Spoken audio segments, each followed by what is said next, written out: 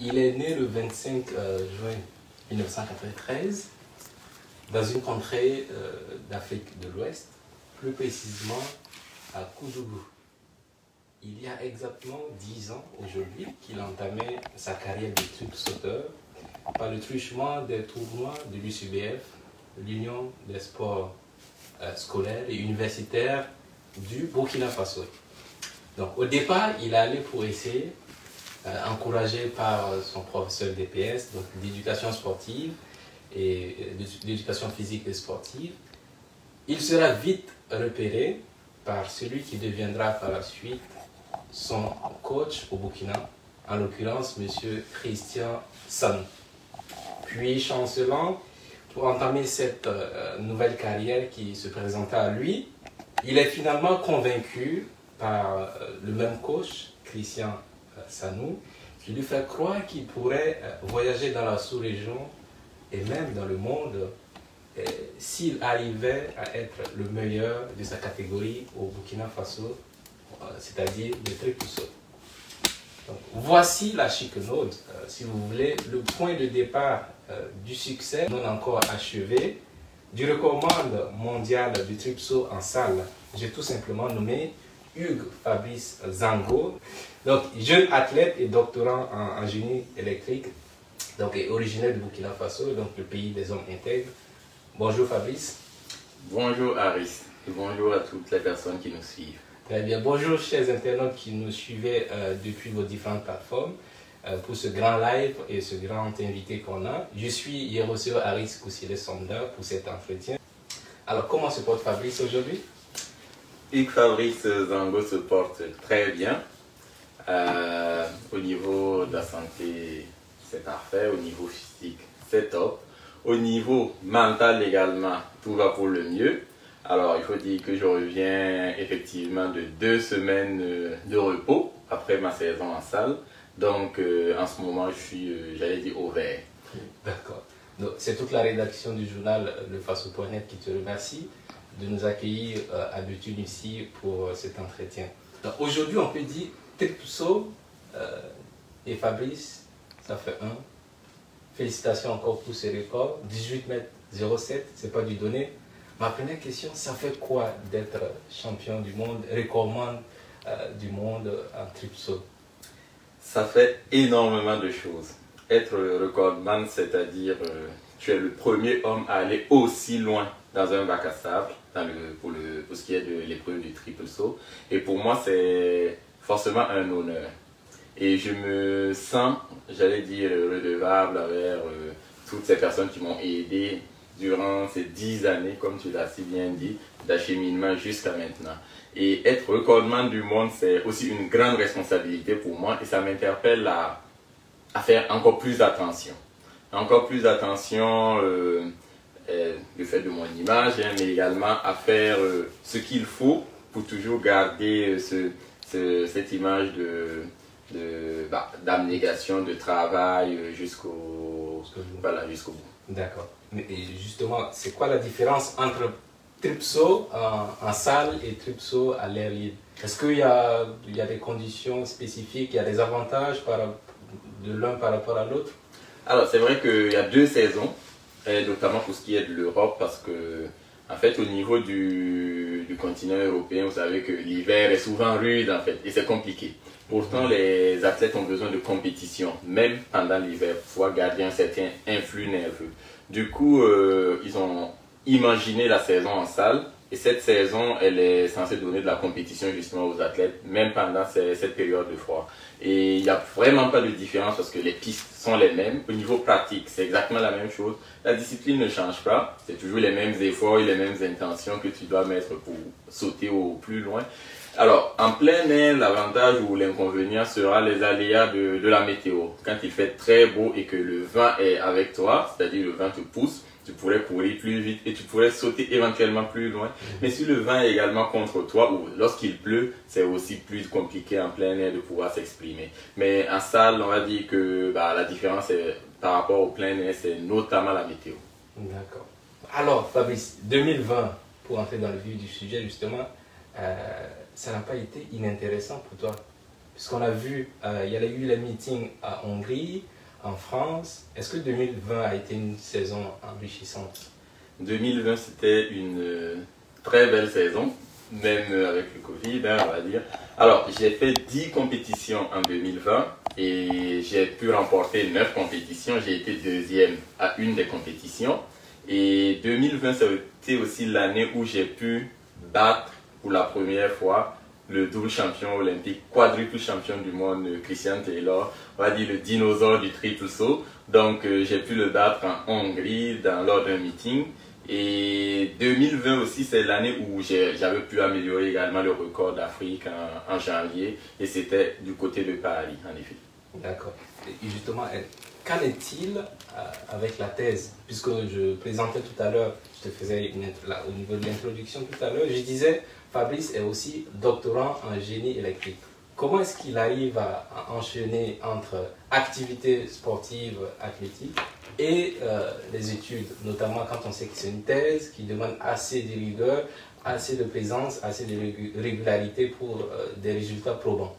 Tout à fait. C'est vrai que en 2020 aussi, bah, notamment pendant le Covid, hein, j'ai pu mettre à profit euh, ce petit moment-là pour pouvoir avancer dans mes recherches.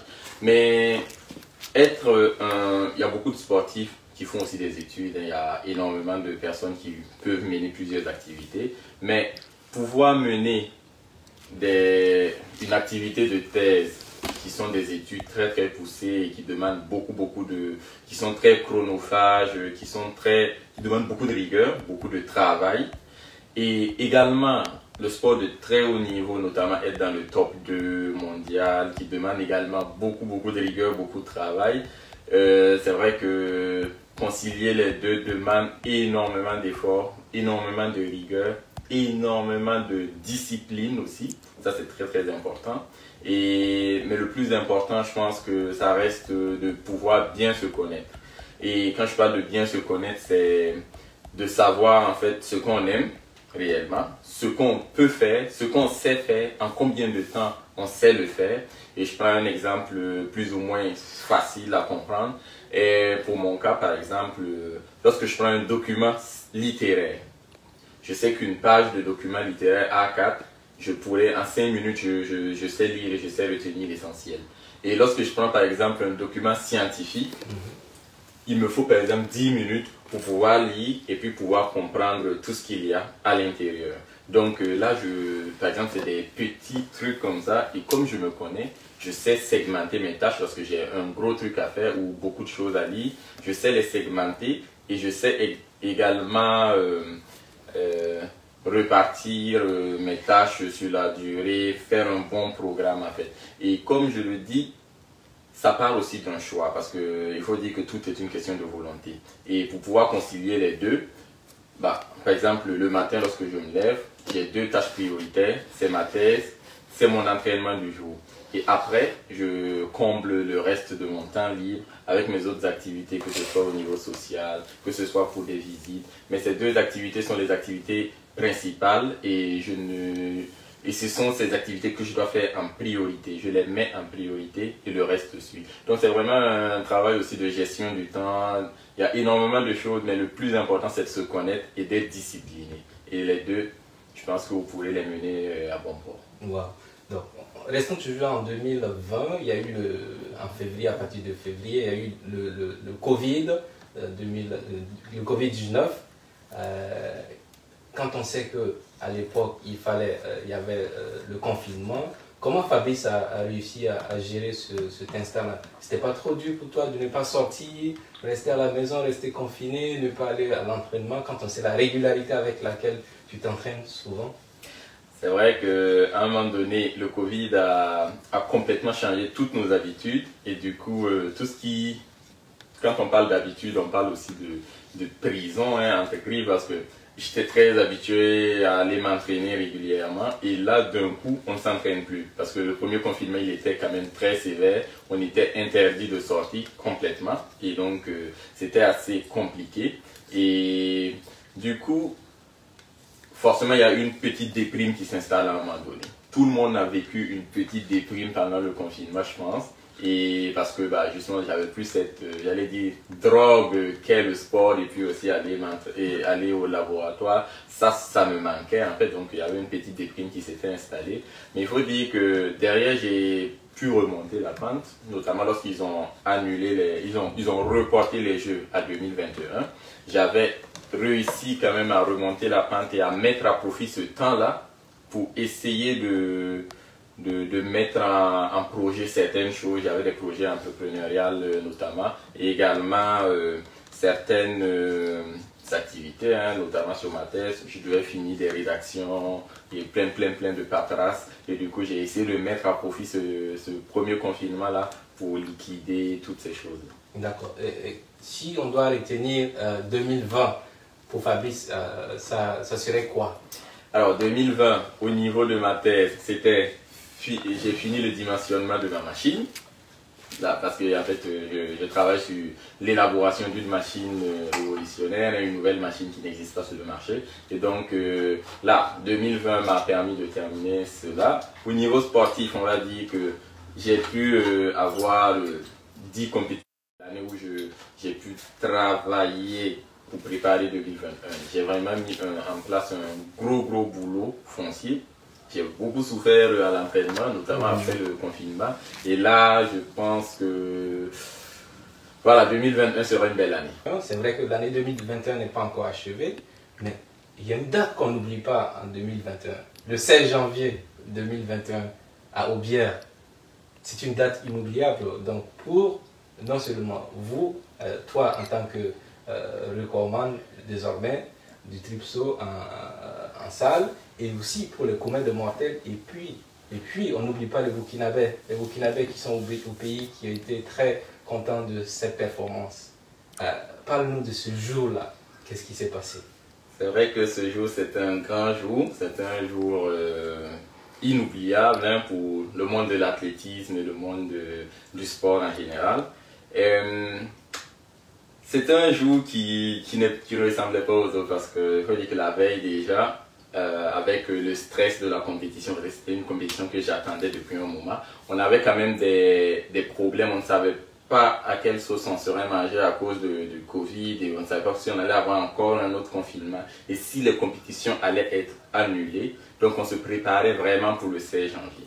Alors, le 16 janvier, est là désormais et là le stress monte. Du coup, euh, c'est un peu voilà, quand le stress il monte, euh, on ne peut plus dormir, on ne peut plus manger. Il y a énormément de, de, choses euh, qui sont bloquées. Hein. Et moi, mhm. justement, je me souviens la veille, par exemple, de, du, concours. En fait, j'arrivais pas à manger le, la nourriture de resto. J'ai commandé un, un, un truc complètement à part, c'était un sandwich.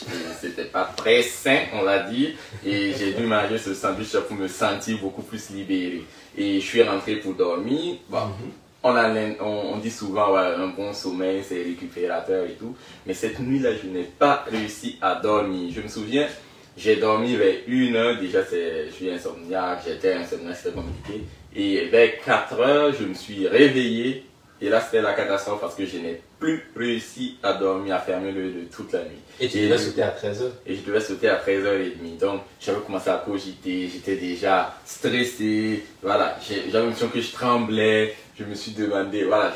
Mais tout cela, c'est assez important parce que je pense que toutes ces émotions que j'ai vécues m'ont aidé à mesurer justement la grandeur de la tâche que j'allais réaliser. Et justement, ce jour-là même, lorsque je suis allé m'échauffer, j'ai vu que tout allait pour le mieux. J'étais quand même dans mes bonnes habitudes, dans mes, j'allais dire, dans mon échauffement habituel, quoi. J'étais bien dans ma peau. Et il fallait maintenant gérer tout ce qui est aspect mental, rester dans sa bulle et ne pas se laisser déconcentrer par tout ce qui est autour. Et j'ai essayé autant bien que mal de rester dans ma bulle.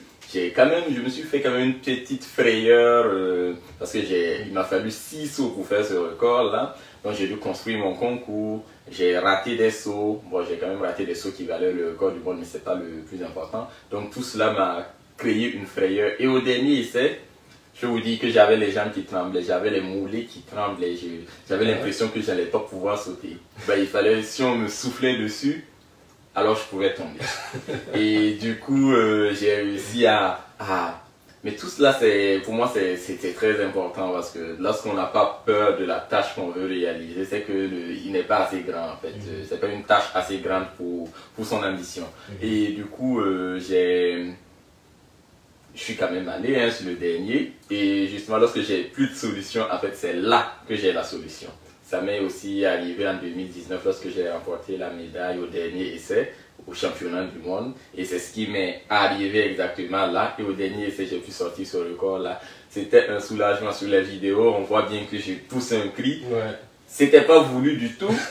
Donc, Et puis, il est sorti euh, il est sorti tout naturellement parce que lorsqu'on atterrit dans le bac à sable, on voit bien le drapeau qui marque le record du monde. Tout le temps, dans un bac à sable, il y a le drapeau qui marque le record du monde. Je vois que je suis bien au-delà. Je me suis retourné. Je vois que le drapeau, il est blanc. Donc, j'ai pas mordu. Et donc, là, du coup, j'ai crié sans, sans forcément le vouloir. C'était instinctif euh, comme ça. Oui. Et du coup, euh, franchement, c'était une très très belle journée. Après, j'ai eu énormément de messages de tout, tout le monde entier d'ailleurs. Il y a eu le président du, du Burkina Faso, notamment euh, le président Rochma Christian Kabore, qui a tweeté à l'époque Fier de mon compatriote Hugues Fabrice Zango, qui a battu ce samedi le record du monde en triple saut, en salle en triple saut. Euh, Est-ce que tu t'attendais forcément à cette performance-là? Ah, c'est toujours toujours compliqué parce que il s'agit d'un record du monde. On peut toujours battre son propre record personnel, mais battre le record du monde signifie que tu bats toutes les personnes qui, ont existé avant toi en fait. C'est ça, en fait, qui ont fait du triple saut qui existaient avant toi. Donc c'est toujours euh, une équation assez complexe. Alors, mais il faut dire que un mois auparavant, on était en Guadeloupe. Je suis allé m'entraîner dans les Antilles et bon, pour profiter du beau temps et tout cela. Mais voilà, donc euh, on a été dans les Antilles pour s'entraîner et là on voyait qu'il y avait des aspects techniques qui commençaient à se mettre en place avec le coach, on sentait qu'il y avait de belles choses qui venaient. Mais en fait nous on avait prévu une montée régulière en puissance jusqu'au championnat du monde en salle qui malheureusement ont été annulés par la Chine. Bon, à cause du Covid toujours, hein, bon, euh, c'est compliqué de faire des voyages et des compétitions à ce moment je vous assure. Donc, euh, après championnat du monde annulé, on s'est dit, euh, bah, il faut juste qu'on trouve une fenêtre pour tirer. Et donc, on cherchait une compétition, n'importe laquelle. La première compétition qui allait se présenter, il fallait qu'on tire dedans. Et du coup, euh, on a commencé à se préparer pour ce 16 janvier parce que c'était la première compétition qui était en ligne de mire. Et en espérant bien sûr que les, les, les problèmes du, du au Covid ne se durcissent pas et qu'on n'ait pas davantage de difficultés à organiser les compétitions. Donc, euh, on a essayé autant bien que mal de se préparer et au fur et à mesure, on sentait que la forme venait et il y avait de belles choses à l'entraînement. On faisait de très très gros sauts, de très beaux sauts et à partir de ce moment, on savait qu'au niveau physique, j'avais les capacités de faire le record du monde. Ça, c'était maintenant validé, cette case, euh, case était cochée. Il fallait maintenant gérer tout ce qui est paramètres mental pour pouvoir exploiter tout ce potentiel physique-là.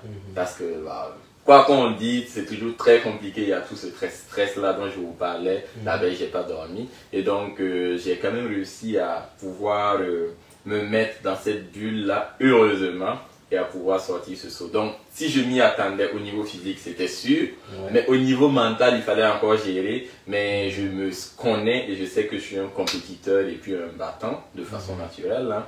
Donc, euh, je savais que j'allais pouvoir en fait sortir ne serait-ce qu'un saut qui allait me permettre de faire ce record. Maintenant, sauter 18 mètres 07, je ne m'attendais pas forcément à la performance. Ok. Peut-être au-delà de 18 mètres 07. Bah oui, peut-être plus, ou juste le record du monde. C'était le record du monde que je voulais. Donc, on, on reste toujours en, en 2021, oui, où tu, tu as participé à plusieurs meetings jusqu'à jusqu'ici. Euh, je rappelle quelques, quelques meetings. Donc, il y a eu le 22 janvier à Miramas, où tu as fait 17,05 mètres. Ensuite, le 9 février, tu enchaînes avec euh, euh, le meeting de Liévin, où tu fais euh, 17,82. Euh, et ensuite, les meetings de Val-de-Reuil, où tu fais euh, 17,51 mètres. Euh, ça, c'était le 14 février. Et ensuite, euh, le 20 février, tu enchaînes avec euh, une autre compétition où tu, fais 17, 17 mètres euh, au championnat d'élite, précisément toujours à, Miramas. Comment Fabrice arrive à, trouver la force pour enchaîner toutes ces, ces, ces- ces success euh, stories? C'est vrai que bah, finalement, l'objectif, euh, c'était de réussir à gagner toutes les compétitions. Après qu'on ait, on ait fait le record du monde, parce que ça c'était un des objectifs euh, de cet hiver. Et après le record du monde, l'objectif c'était déjà de rester invaincu. Mhm. Et le deuxième objectif, c'était de travailler certains éléments qui allaient nous permettre euh, d'aller aux Jeux olympiques beaucoup plus fort que pour que faire 17-07. Alors, on a essayé de prendre des risques, notamment au cours de toutes ces compétitions-là. On a sauté aussi dans la fatigue parce qu'on a fait cinq compétitions en un mois. Donc tout ça, ça faisait Mhm. partie du plan. Mettre beaucoup de compétitions, sauter dans la fatigue, essayer de produire des résultats même dans la fatigue. Et je pense que c'est assez concluant. On a eu beaucoup, beaucoup de d'informations qui nous permettront de retravailler jusqu'au jeu parce qu'on a jusque 5 mois et je pense qu'on pourra y ajuster certaines choses euh, pour les jeux. En tout cas, où est-ce que je trouve la force? C'est déjà dans la tête. Justement, on sait que tu fais une thèse en, génie civil. Tu, tu, tu, Génie électrique. tu- génie électrique, pardon. je ne sais pas pourquoi je suis. Donc, en génie, pardon, en génie électrique, euh, est-ce que, comme on dit cet adage latin, mens sana in corpore sano, est-ce que c'est ça qui finalement permet à Fabrice d'être compétent euh, au niveau de sa thèse et aussi d'être très compétitif euh, sur l'athlétisme? Alors c'est sûr que être un, être un corps, un esprit sain dans un Un corps sain. c'est absolument important et c'est un adage euh, universel que tout le monde valide hein, de toute façon. Et on sait que le sport, de façon globale, aide à la santé, au bien-être mental et tout le reste. Et bah, le, travail intellectuel aussi aide euh, à bien sûr développer le monde au bien-être euh, bah, de la personne, hein, tout simplement. Et pour moi, c'est la recherche, pour moi, c'est un, c'est une passion. En fait, déjà, j'aime chercher et aller trouver l'essence des choses. Pour des anecdotes comme ça, lorsqu'on a, lorsque je suis en classe et que le professeur il explique, il vient plaquer une formule, qu'il explique et qu'il fait une application, il se peut que je comprenne pas ce qu'il veut faire, en fait. J'ai besoin de savoir d'où vient cette formule, surtout. Quelles sont les formules, quelle était la base, même l'histoire de la personne. Par exemple, le théorème de Pythagore, je vais aller lire la vie de Pythagore pour comprendre pourquoi il a fait ce théorème. Et après, je me l'approprie, c'est comme si c'était moi qui l'avais inventé. En fait, c'est un peu comme ça que je, fonctionne de façon naturelle. Et du coup, pour moi, la recherche, c'est toujours un, truc intéressant et c'est ça dans mes gènes en fait. Et donc même pour le triple saut, là je suis en train de chercher la performance ultime dans le triple saut. Je ne sais pas c'est quelle performance du coup. Et donc je cherche et je cherche et je cherche. En ce moment j'ai déjà un record du monde, j'ai déjà une performance ultime jusqu'à maintenant. Et donc on va chercher encore d'aller aller jusqu'au bout de mon effort. Qu'est-ce qu'un être humain peut produire c'est ce que je veux savoir. Et là, je suis en train de faire une expérience entre griffes sur mon propre corps et je verrai ce que vous, verrez les résultats de toute façon. Très bien, on, a hâte de voir ces résultats-là. Alors, tout ceci, euh, le fait de, sauter 18 mètres 07, ça a nécessité une préparation à l'avance. Euh, ça, tout ça, ça a un coût physique, physiologique, ça a un coût psychologique, ça a un coût financier. Est-ce qu'on en parle, Fabrice? Ah oui, tout à fait. Bah, il faut dire que ça demande beaucoup d'engagement au niveau physique, hein, parce que c'est pas tout le monde qui est capable euh, d'accepter souffrir à ce niveau. Bah, lorsque, par exemple, je prends euh, l'anecdote simple, il y a des personnes qui sont vraiment malades, hein, par exemple, et qui doivent faire juste un peu de sport, mais qui n'arrivent pas à le faire. Pourquoi? Parce que mentalement, ça ne tient pas. Le sport fait mal quand même ça fait quand même mal. Et donc, à ce niveau, au niveau où je suis, en fait, on est tout le temps en train de repousser nos limites un peu, un peu, un peu. Donc, on ajoute, on, on, a des entraînements toujours plus durs, toujours plus qualitatifs. On a toujours beaucoup plus de, de, de difficultés hein, en pro parce que mon entraînement, il est extrêmement compliqué. Je soulève des charges extrêmement lourdes. Je dois faire attention à beaucoup de choses parce que avec un, par exemple 300 kg sur le dos, si tu n'as pas toute euh, ta concentration à 100%, le moindre, il y a beaucoup de personnes qui se font paralyser, il y a beaucoup de problèmes par exemple. Le moindre, la moindre erreur et ton dos il tourne et voilà, tu peux être paralysé, tu peux avoir des blessures euh, irréversibles. Donc tout cela me demande beaucoup, beaucoup d'engagement par exemple euh, au niveau physique, au niveau mental, mais également au niveau financier parce que il faut dire que tout cela, l'accès aux installations, la, la prestation de tout ce qui est médecin pour pouvoir aider à, à réduire tout ce qui est problème parce qu'on ne soulève pas 300 kilos et on sort indemne de la salle de musculation. Non. Donc, euh, ces, toutes ces prestations et aller dans les stages de préparation pour les Jeux Olympiques pour pouvoir faire des performances, tout cela coûte extrêmement cher et annuellement, je, je dépense pas moins de 50 000 euros pour, pour me préparer à cet effet. 50 euh, 000 euros, vous avez déjà dit donc 50 000 euros, ça fait environ 32 millions ouais, francs CFA. Un peu plus de 32 millions. Ouais. D'accord. Et, comment tu arrives à prendre en charge euh, tout ceci? Euh, Si on prend par exemple pour l'année 2020, comment est-ce que Fabrice a, réussi à prendre en charge ça? Et aussi pour l'année qui est en cours, euh, comment est-ce que Fabrice compte prendre en charge toutes ces, ces, dépenses à venir qui sont déjà passées, les dépenses à venir? Ouais. Alors, il faut dire que j'ai la chance hein, parce que je suis doctorant, donc je travaille dans un laboratoire pour une entreprise et du coup je suis salarié de cette entreprise, euh, bien sûr sur ce projet de recherche là. D'accord. Donc ça c'est déjà euh, une entrée d'argent pour moi. Ensuite euh, j'ai mon sponsor Telecel et j'ai mon sponsor Nike et ensuite il faut dire qu'une part non négligeable de mes aides, en fait, viennent de l'État burkinabé. Et justement, l'État burkinabé finance à plus de la moitié de toutes mes dépenses.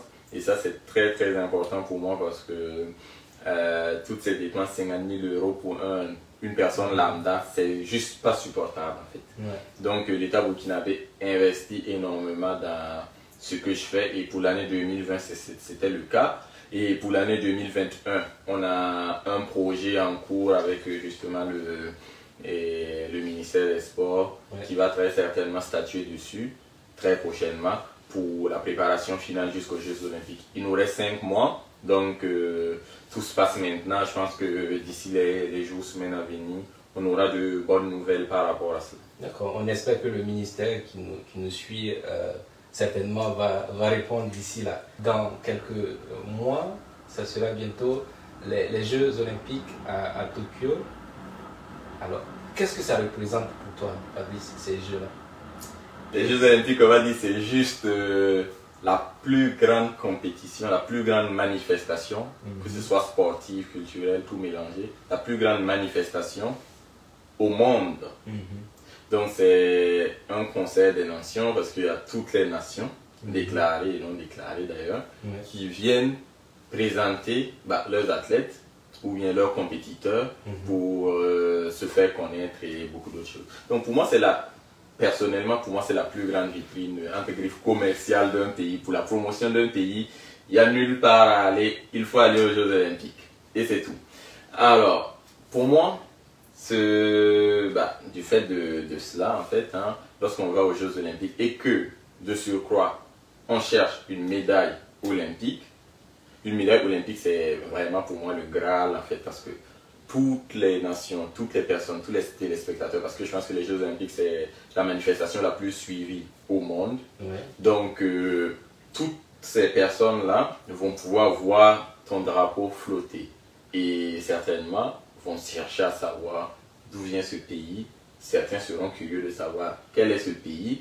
Et peut-être parmi toutes ces personnes, il y aura des philanthropes et tout ça. Et si par exemple, par le fait que j'ai une médaille olympique, il y ait une seule personne dans ce monde qui connaît le Burkina en plus et qui a peut-être aidé un Burkinabé parce que cette personne est philanthrope par exemple, pour moi j'aurais gagné mon pari en fait. Donc c'est ça. Donc pour moi, les Jeux Olympiques, c'est la plus grande vitrine de promotion du Burkina Faso. Et moi, mon objectif, c'est d'être l'ambassadeur du Burkina à ces Jeux-là, en faisant monter au plus haut le drapeau, pour que le drapeau flotte haut, que tout le monde le voit et que des personnes s'intéressent au Burkina. Et plus on s'intéresse au Burkina, très certainement, ça va développer des choses à l'avenir. D'accord. On espère bien que le drapeau du, Burkina va flotter ce, ce jour-là.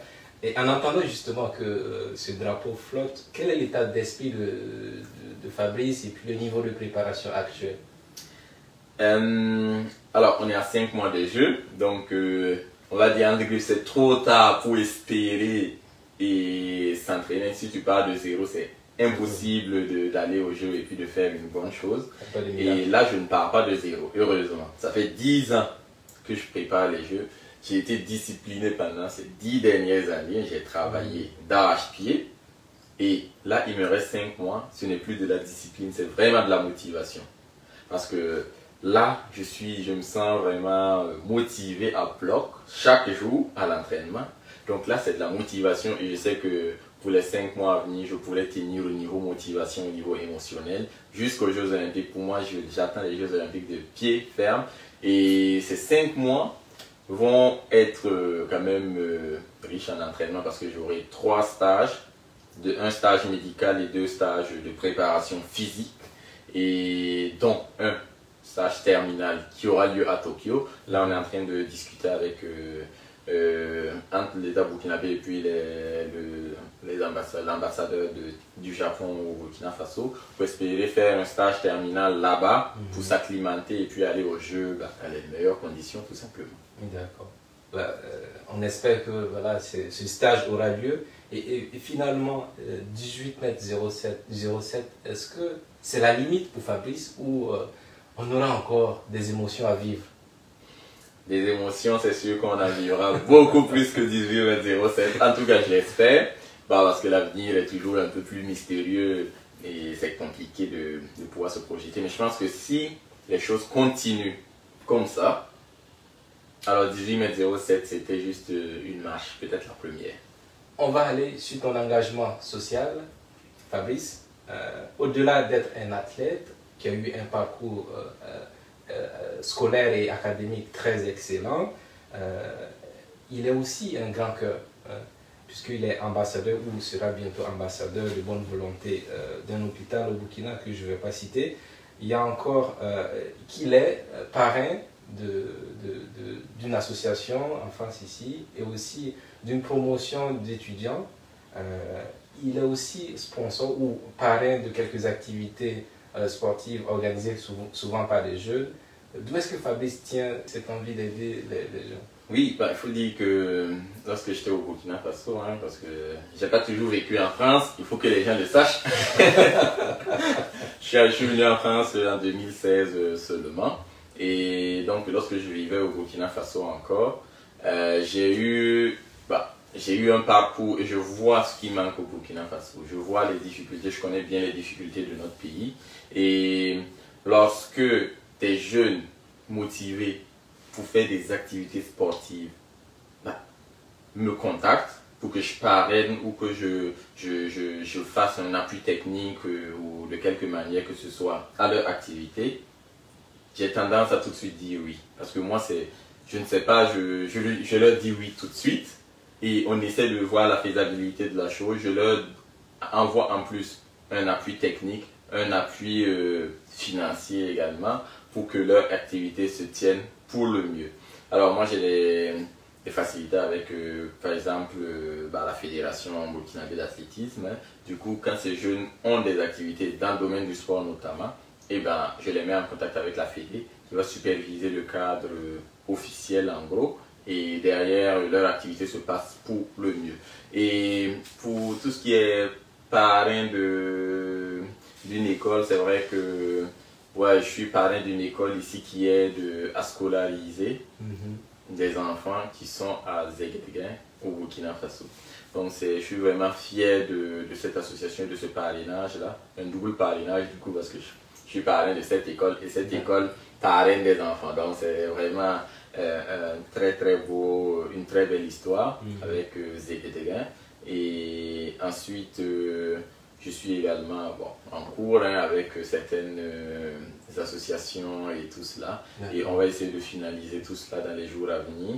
Et en tout cas, j'espère que tout ce que j'espère, c'est si par moi, comme je le disais tantôt, une seule personne peut être sauvée au Burkina Faso, alors j'aurais réussi ma vie. En tout cas, franchement, je, j'essaie au maximum de, d'apporter de mon aide à toutes ces personnes de bonne volonté qui veulent euh, juste soit s'en sortir ou faire rayonner le Burkina. J'essaie au mieux. Très bien.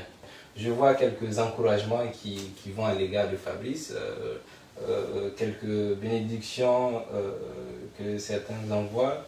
Fabrice, quel est ton commentaire là-dessus? Je reçois énormément de messages, en effet, sur Facebook, euh, sur tous les réseaux sociaux notamment. Et je suis vraiment très content que le public burkinabé eh, valorise en fait ce que je fais. Parce que je pense qu'aucun athlète n'a eu autant de boom médiatique ou autant de, de, chaleur que moi jusqu'à maintenant. Et moi, je suis vraiment content que toutes ces personnes-là me considèrent à, ce, à un, si haut niveau de respect et tout cela. Et du coup, euh, je vous remercie énormément et je prie pour vous que vous ayez la santé, que vous puissiez réaliser tous vos rêves et aussi prier pour moi pour qu'on essaie de lever ensemble euh, le drapeau de Burkina Faso. Très bien. Je pense qu'on est en train de, s'acheminer vers la fin de, cet entretien. Euh, si on devrait euh, savoir le secret de Fabrice, ce serait quoi? Je ne suis ni plus doué, ni moins doué que personne en fait. Donc, toutes les personnes sont douées. Et moi, je suis doué également, comme toutes les personnes. Je pense qu'on est tous au niveau zéro. Après, tout part d'une volonté. J'ai décidé bah, d'être major de ma classe.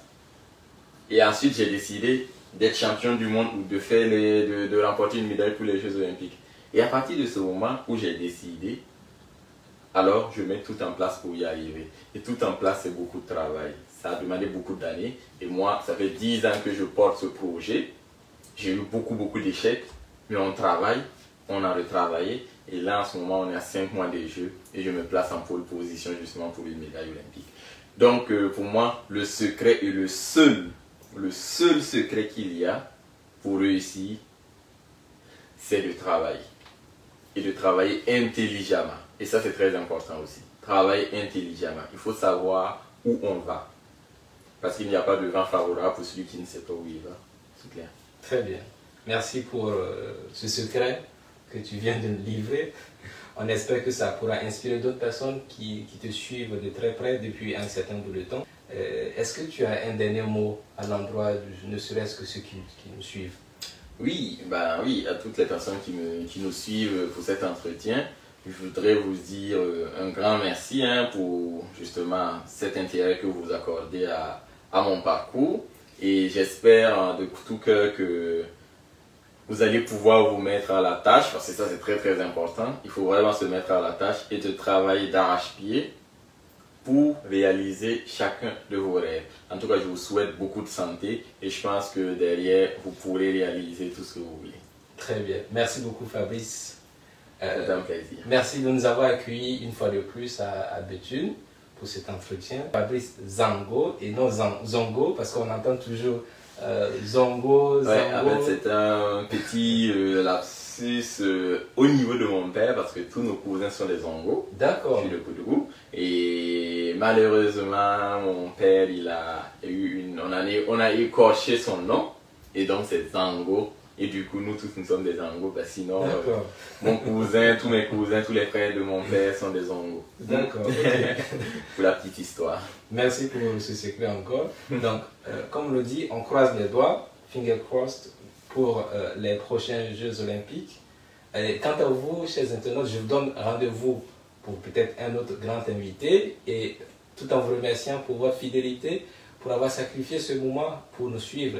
Merci une fois de plus et bon week-end à, vous toutes et à vous tous. Et n'oubliez pas les gestes barrières euh, pour juguler euh, cette maladie, cette pandémie qu'est la COVID-19. Merci bien Fabrice encore. Merci. À bientôt. À bientôt.